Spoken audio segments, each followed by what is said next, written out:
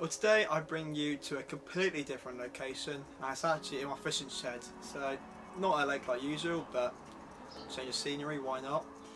I was intending to post a fishing session I had over the weekend at a dating award so I'm going to focus a little bit of time onto now but change of plan and since the new release of the Korda Klor hooks I thought I'll do a few videos on these about what rigs you can use, how to them, and a little review in, at the end of the videos.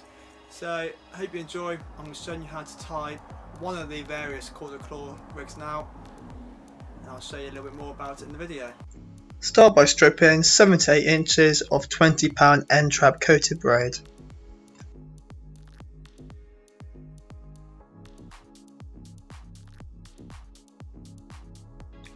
Then grab a size 4 Korda Klor hook.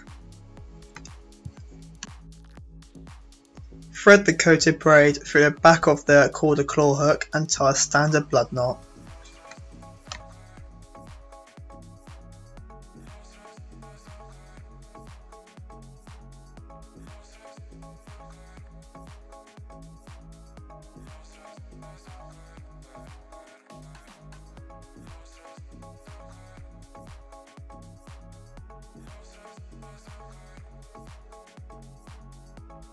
Cut off the tag end to neaten up the knot.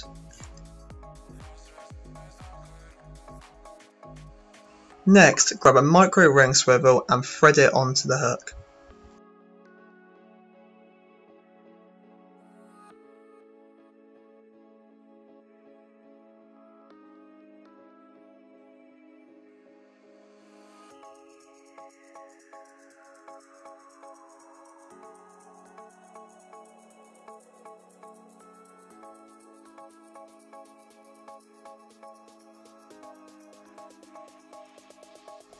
Next, grab a hook bead and thread it around the hook to in line with the microbarb.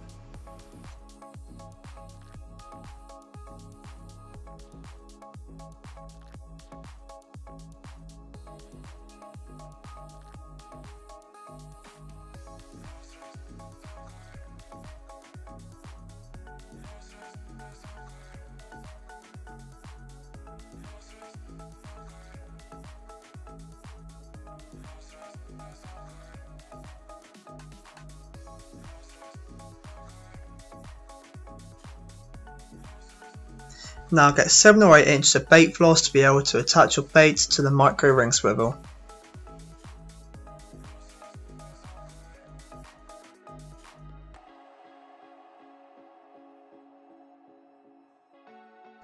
Now get your choice of pop-up, I've gone for the mainline quads. Coming back to the bait floss, thread it through the micro ring swivel and have plenty to play with.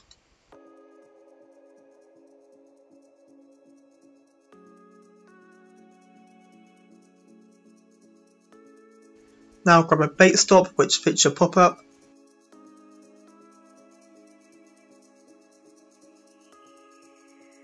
Push your bait stop into your pop-up with two tag ends coming out either side. Then tie a simple overhand knot to secure the bait stop in place.